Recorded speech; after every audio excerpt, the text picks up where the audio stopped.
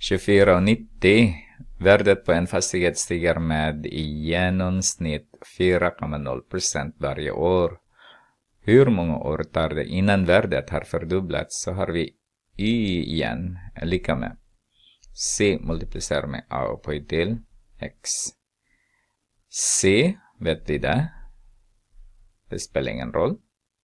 Vilket värde är det? Och det nya värdet ska vara fördubblats, så 2c. Och a, förändringsfaktor, den skulle öka 4% ett till x.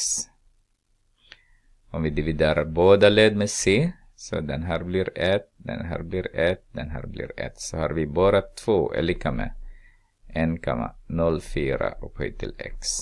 Om vi tar log till båda så får vi så här. Log av 2 är lika med x log multiplicerar log av 1,04. Jag gör det direkt med eh, logen 3.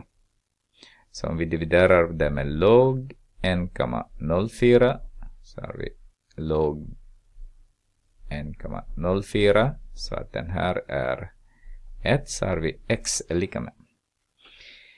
Eh, jag behöver inte visa min skärm men eh, eh log av 2 dividerar med log av 1,04 är lika med 17,7